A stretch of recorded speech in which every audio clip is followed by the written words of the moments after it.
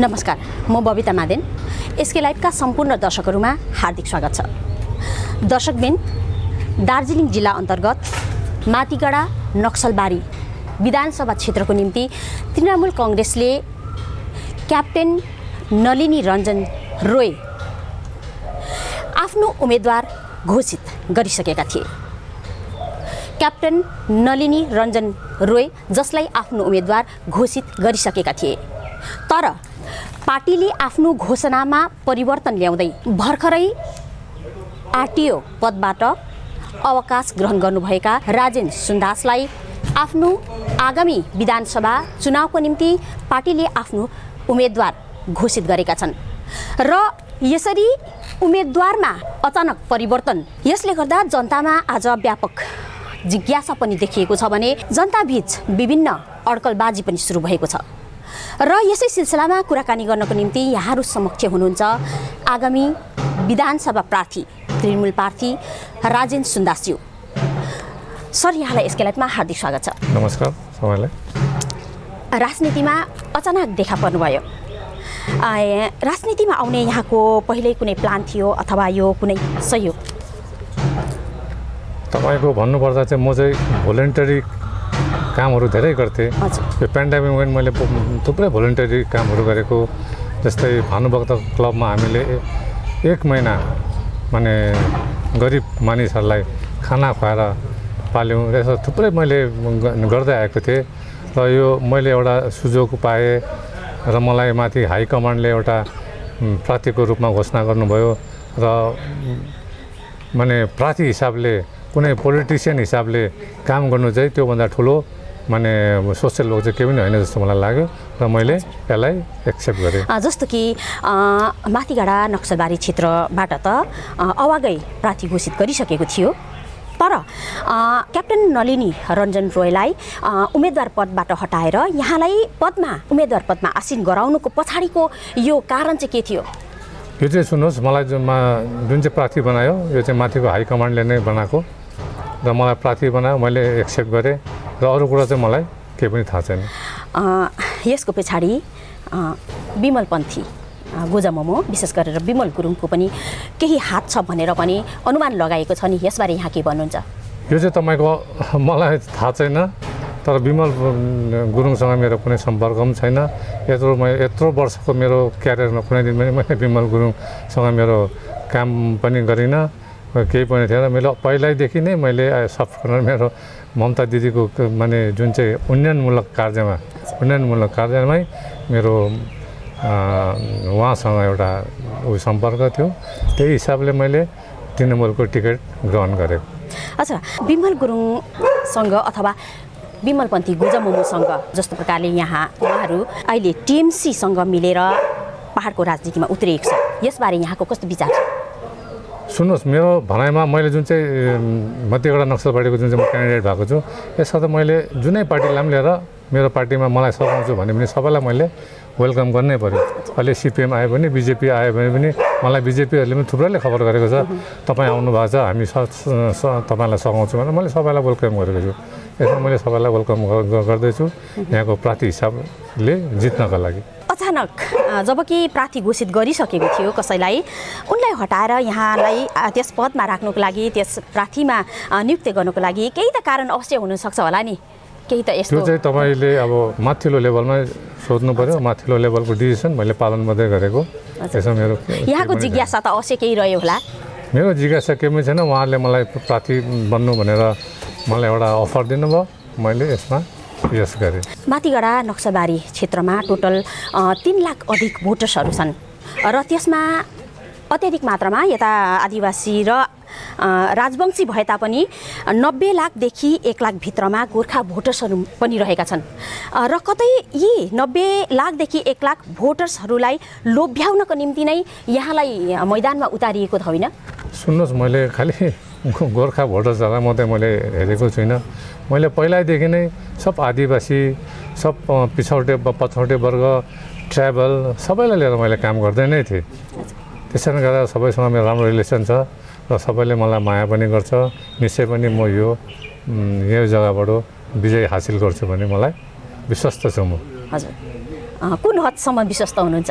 म hundred percent विश्वास छु। म यहाँबाट एक लाख भोटले विपुल मतले विजय हुन्छु। हजुर। अच्छा यहाँले भन्नुभयो एक लाख मतले विजय हुन्छु। एकदमै यहाँ ओभर कन्फिडेन्स देखिनुभयो नि। तर के हो भने शङ्कर मालाकर जबकि यस क्षेत्रको दुई दुई पटक विधायक रहिसक्नु भएको छ एउटा काङ्ग्रेसको बलियो पकड भइरहेको ठाउँ हो यो।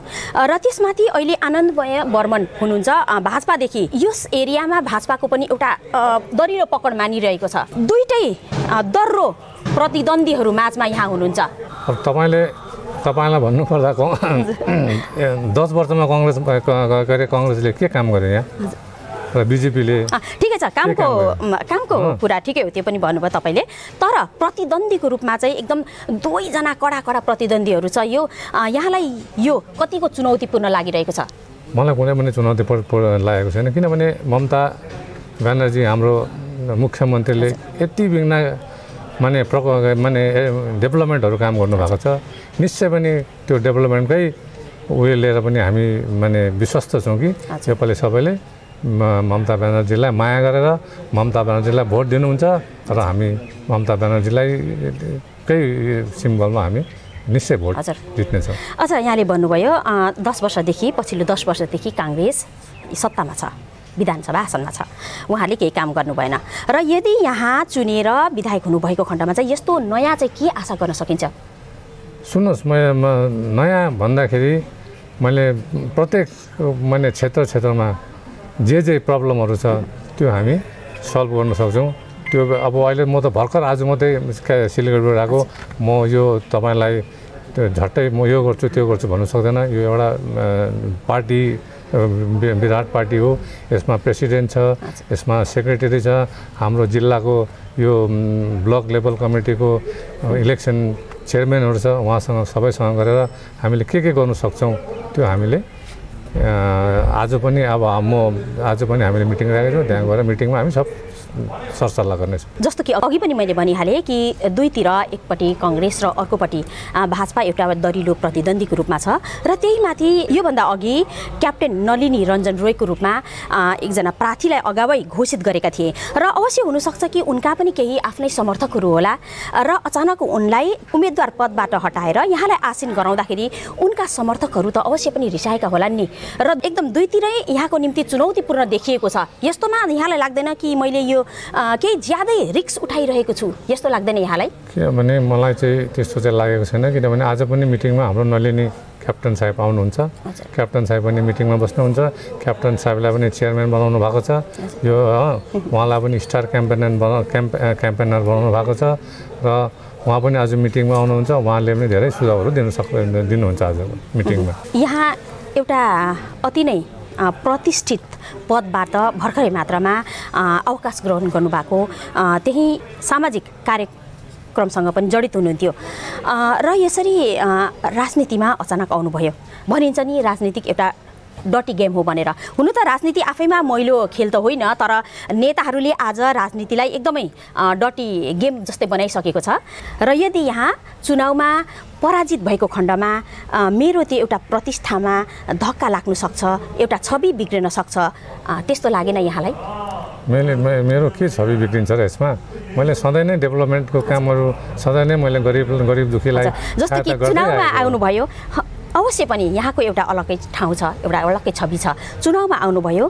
चुनावमा पराजित भएको म खण्डमा पराजित हुँदिनँ मेरो हन्ड्रेड पर्सेन्ट म हन्ड्रेड पर्सेन्ट विश्वास विश्वासवादी छु कन्फिडेन्ट छु म इलेक्सन जित्छु भनेर। अच्छा हन्ड्रेड पर्सेन्ट दिनुभयो यहाँले। केही त आधारहरू होला नि। कुन आधारमा चाहिँ यो भन्नुहुँदैछ तपाईँले? नै नै मैले त तपाईँलाई भनिहालेँ हाम्रो। ममता ब्यानर्जीले कतिवटा चाहिँ डेभलपमेन्ट उसको पैँसठवटा त माने योजना नै छ डेभलपमेन्टको। कति चाहिँ माने नानी एउटा मर्दादेखिको के अरे मरेर लास जलाउने सम्म सम्म पनि उहाँले ऊ पैसा दिनुभएको छ कन्याश्रीलाई लेडिजहरूलाई कन्याश्री साइकल वितरण स्कुलमा पढ्नेहरूलाई जुत्तादेखि लिएर सबै दि- दिनुभएको छ। यसैमा त हामीले भोट जित्छौँ। त्यो त कसैले पनि गरेको छैन अहिलेसम्म। हामी यही कुरामा चाहिँ हामी कन्फिडेन्ट छौँ कि यसपालि हामीले हाम्रो जित चाहिँ ममता ब्यानर्जीकै जुन चाहिँ डेभलपमेन्ट वर्कले नै हामी निश्चित छौँ।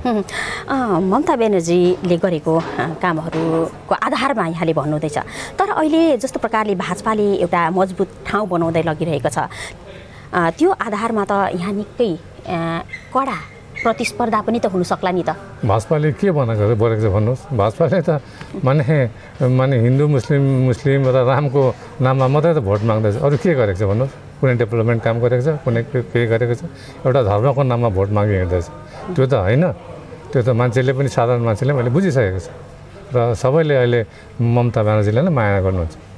र यहाँ अलिक केही ढिलो गरी प्रार्थी घोषित गरिएकोले गर्दाखेरि पनि यहाँलाई प्रचारको निम्ति केही कम मात्रामा समय पाइरहनु भएको छ होला। र यसकै लाइभको माध्यमबाट चाहिँ यहाँका दर्शकहरूलाई यहाँका जनताहरूलाई त के आह्वान गर्नुहुन्छ तपाईँ? म चाहिँ यहाँको जनताहरूलाई चाहिँ यही आह्वान गर्छु कि तपाईँहरूलाई जहिले पनि मुस्किल पर्छ राति दुई बजी होस् एक बजी होस् म तपाईँहरूकोमा आएको हुन्छु र तपाईँहरूलाई म सहकै हुन्छु।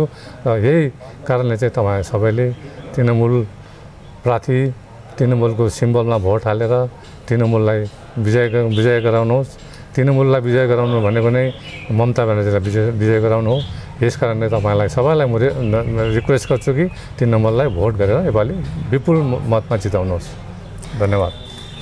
दर्शकबिन यहाँ हुनुहुन्थ्यो तृणमूल प्रार्थी राजेन सुन्दास जसलाई यहाँहरूले सुनिरहनु भएको थियो। र सर यसकै लाइभलाई समय दिनुभयो यसको लागि धेरै धेरै धन्यवाद। धन्यवाद दर्शकबिन हामी फेरि पनि यस्ता कार्यक्रम लिएर आउने नै छौँ। यहाँहरू हेर्दै गर्नुहोस् यसकै लागि तपाईँको समय तपाईँको समाचार। अब वक्त आ गया है अपने सपनों को एक नई पहचान देने का। वेबल कंप्यूटर ट्रेनिंग सेंटर आपके लिए लेके आए हैं डिप्लोमा एंड कोर्सेज जैसे English speaking course software application financial accounting Tally Java H T M L D T P C plus plus Python जैसे बहुत से कोर्सेज एंड डिप्लोमा और आपको मिलेगा hologram sealed certificate government of West Bengal undertaking जो आपके हर सपने को देगा। एक नई उड़ान Webel computer training centre opposite Siliguri college gate number two college Para Siliguri जैविक राज्य सिक्किम सिक्किमको अनुपम उपहार सञ्जीवनी विश्वकै पहिलो कीटनाशक औषधि। जसको एकै स्प्रेले भ्याक्सिन सरह काम गर्छ र फसलमा लाग्ने विभिन्न भाइरस ब्याक्टेरिया र फङ्गसबाट हुने समस्त रोगहरू साथै पातको रस चुस्ने किराहरू समेत नियन्त्रण गर्छ जो रासायनिक कीटनाशक भन्दा अझै किफयाती र प्रभावकारी छ। फसल कुनै होस् रोग कुनै पनि होस् एकपल्ट अवश्य प्रयोग गर्नुहोस् सोचे भन्दा बढी लाभ पाउनुहुनेछ।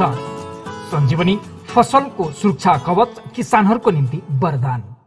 माउन्ट कनिफर स्विट्स एन्ड स्पाले अब बिहे बटुल पार्टी वा कुनै उत्सव मनाउन परे। दरबार ब्याङ्क्विट हल अनि बोट रुमको व्यवस्था गरिदिएको छ। हल अत्यन्तै फराकिलो भएकोले सुविस्तासँग आफ्नो उत्सव मनाउन सक्नुहुनेछ। भिडभाडको सामना गर्नु पर्दैन तीन हजार र एक हजार स्क्वायर फिटको यस हलको उपयोग दर रुपियाँ तिन सय निनानब्बेदेखि सुरु गरिएको छ सम्पर्क ठेगाना Mount Conifer suites and spa five doctor SN Das road opposite ring mall Darjeeling Looking for an opportunity to work in Japan? We have exciting employment opportunities, especially in industries like nursing, caregiver, manufacturing, and construction.